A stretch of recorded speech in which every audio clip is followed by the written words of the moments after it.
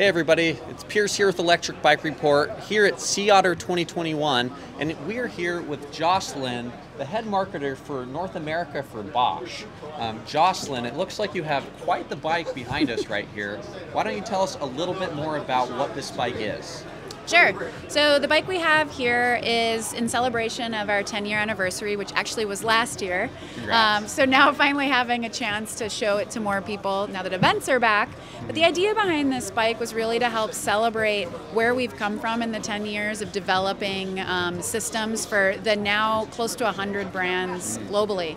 The idea behind this really is just to ask the question, what if? Like, what if uh, your your bike for getting to work to and from work looked like this? It'd be yeah. pretty fun, right? Yeah. So that's the idea behind it. So yeah, it wasn't really meant to demonstrate any particular technology, but more of an overall um, experience that would really help people get out of the cars more. Mm-hmm. And you guys have been very well established in a lot of different industries. Specifically, I heard you mention how you have over 600 employees for your uh, electric bike team now. Yeah. Uh, why don't you tell me a little bit more about how the electric bike side of things is going for Bosch?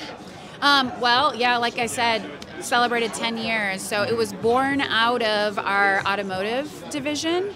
Um, the thing that's really cool about Bosch, it's been around over 130 years now, yeah. and the way the company has grown to this size is because one of the, the pillars of the organization is research, development, innovation, trying new things.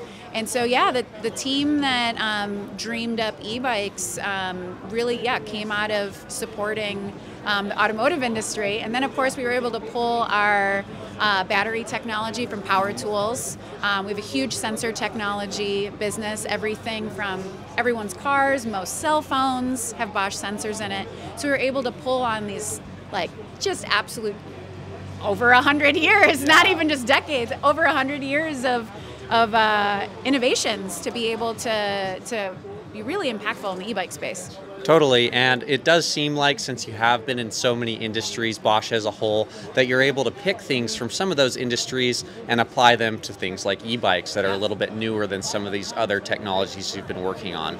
And I think that's pretty clear to see with what Bosch is doing Bosch is one of those mid-drive motors that is definitely going to be a step ahead of the curve relative to some other brands.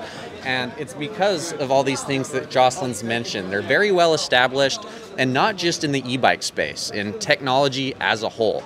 So I'm kind of hoping my bike is going to look like this in the future. Um, as far as this being a conceptual bike goes, I'm just really hoping that I have this bike in the future. Um, hopefully, it's rideable, and I love what you guys are doing so far. I'm excited to see where it goes. Yeah, so. I mean, like there is a lot of things on this bike that is actually usable today. Like for example, the Nyon um, computer that's on here, that's in the market. Today. That's touchscreen, isn't it? Yeah, uh, yeah, that's touchscreen. It's full color, navigation, connected, you name it. And so um, it really is meant to like integrate into the life we're all already living, very connected lives. So um, yeah, like I said, a lot is already available today, but yeah, more more meant as a way to, to celebrate the future of what's to come in urban mobility. Very cool. Well, I appreciate your time, Jocelyn. Congratulations on that 10 year anniversary, and I'm looking forward to seeing what you guys are producing in the future. Yeah. So Thank you. we'll see you guys next uh, interview.